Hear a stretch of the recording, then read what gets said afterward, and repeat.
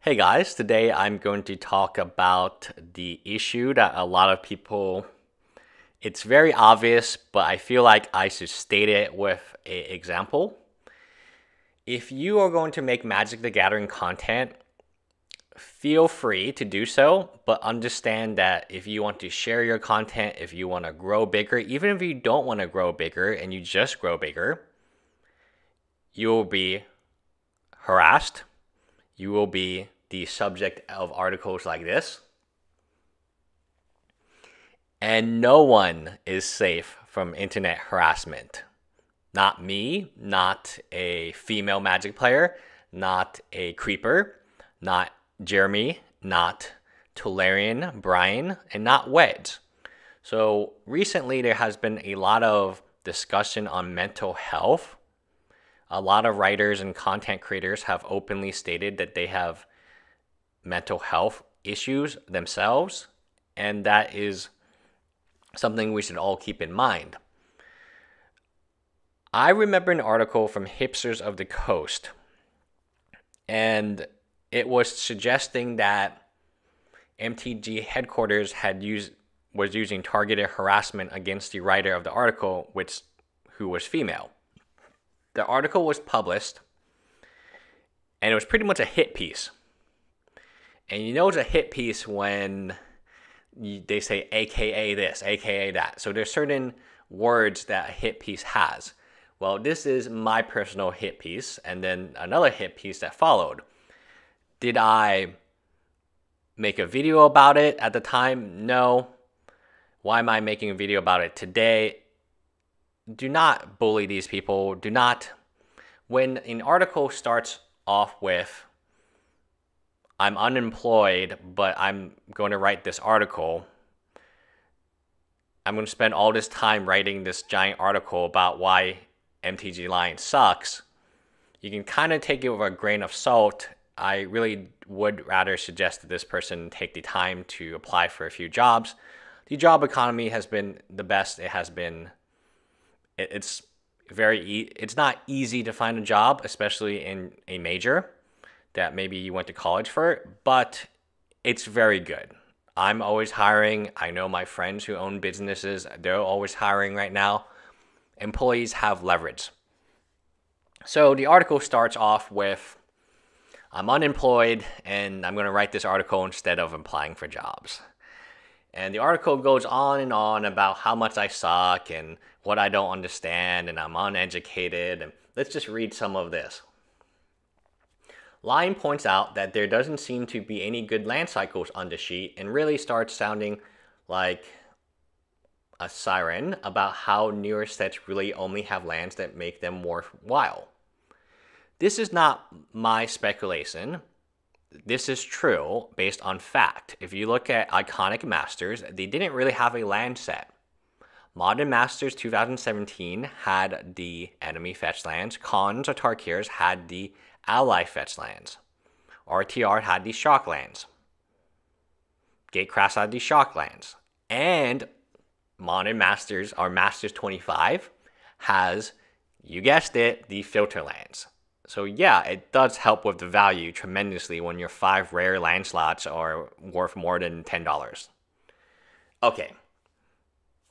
People like Lion are usually the first to start complaining, and that is true and standard is horrible. It honestly is. Is downright their rallying cry at this point. Uh, even complaining about the complainers is almost as tiring now. So they complain that I'm a whiner, therefore turning themselves into an even bigger whiner. And this is the irony. The irony is very rich on uh, this type of argument because the people who use target targeted harassment the most tend to be victims of targeted harassment. The people who complain about whiners the most tend to write articles about whiners, as is life, right? So I agree. Uh, this should be this is opinion, and you should write the opinion, and you have every right to do so. Now, I was a moderator. I was one of the original uh, free four moderators on it, and yes, I was initially paid to promote this app. They asked me to promote it a second time. I said I would do it, and I didn't ask for money. They asked to pay me. I said no, I'm good. Uh, that second video never went out because on two days before it was set, I make my videos probably a week in advance.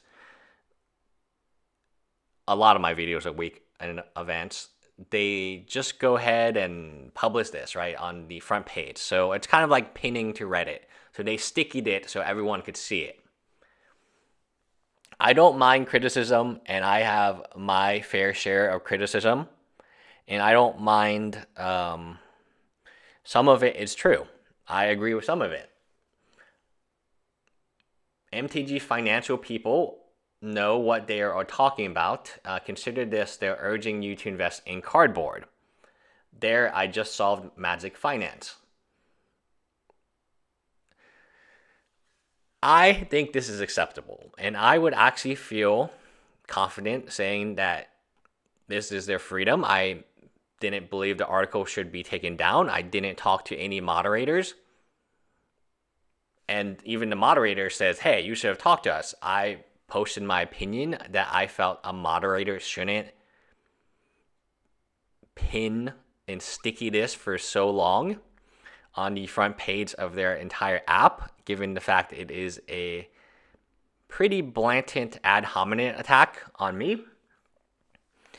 And yeah, I didn't ask to be a big YouTube channel, and I don't think I have a responsibility to.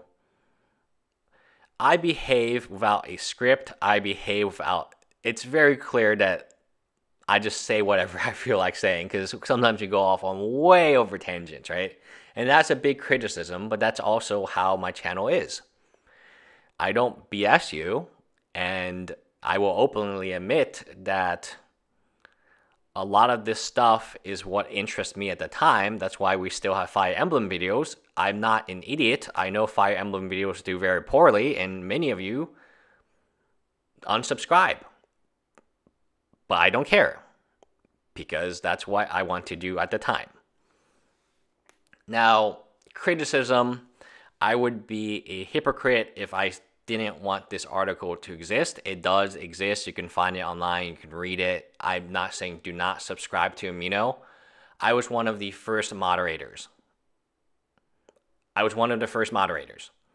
And it was difficult to do, as anything is difficult to do in the beginning, because there's no construct of rules, there's no construct of regulations. All right, let's read some of this. Uh, MTG Lion has left the amino for, I think, the third time. That's not really correct. Um, this time is was due to a post that was highly critical and a little mean spirited towards him. First off, let's get this straight. This will not be a full slappy and begging for forgiveness apology. I don't expect that, um, especially given the first sentence. You can tell the tone of the article from just the first sentence. I was the one who featured the post. It wasn't any other curator. It was me. So come at me, bro. Does this sound like someone who wants me to use the Amino app? No. This some, sounds like someone who wants me to leave the Amino app and I have. I haven't used it since this drama happened. I just want to present the fact that you can be criticized, you can be attacked, and that's your right to do so. They have every right to criticize me. They have every right to make these claims. Some of them are true, some of them are not. It's fascinating. There were three YouTubers that were at the forefront and got a sponsor to promote the Amino. Cyberlore, Rogue Deck Builder, and MTG Lion. I joined a week after the app launched it. Launched. The YouTubers did their videos and some did post content. So clearly this person did not really get what went into the moderators, and I still have this saved. If I log into Amino, assuming they didn't delete anything, there's messages. The regulations and the rules were set by the original moderators, and one of the original moderators, I believe, worked for Amino. and there were certain guidelines um, about pretty much harassment, specific targeted harassment that you were not supposed to do as a moderator. And if you actually caught it, your duty wasn't to promote attacks against a another person on the forum, which I was. Your duty would be to flag it. And those were the rules and guidelines that were in place when I left being a moderator and just joined being a regular member. Clearly, you know, that's, I'm sure Reddit, no matter how bad Reddit gets, I'm sure they have something in place as well. I know MTG Salvation, which I was a moderator. My username was Kinrin. It's a long time ago. It had a lot of fun, and I learned a lot from them about how to build a community. And I would even go as far to say that I applied that knowledge from being MTG Salvation moderator, which is a, at the time it was like 2015 or 2012 or 30. It was huge at the time because Reddit hadn't yet really grown like it has today. Everyone was using Salvation as the Reddit. So hashtags. Um, you can tell when someone really hates you when they need to exaggerate. A few people made mock posts using a million hashtags. You don't need to say a million hashtags. Clearly, someone reading this is going to know it's not a million hashtags. That is a exaggeration. And in case law, uh, for legal arguments, whenever people start making exaggerations, you know they have a relatively weak argument. Um, and the reason that their argument is so weak is they're relying on huge numbers, huge statements, uh, kind of maybe similar to a certain president. Anyway, the most infamous critic on the app is constantly blank about whenever he says something even remotely negative, and usually a random comment or hit post will get flagged. Do you know what happened with the Lion post? Nothing. No flags. I got no one blanking to me or the other curators that the maker went too far or it shouldn't be featured. Only after a member showed it to Lion on his Facebook page did I hear I shouldn't have been up there. It shouldn't have been up there. Lion would have never seen it since he's barely on in the first place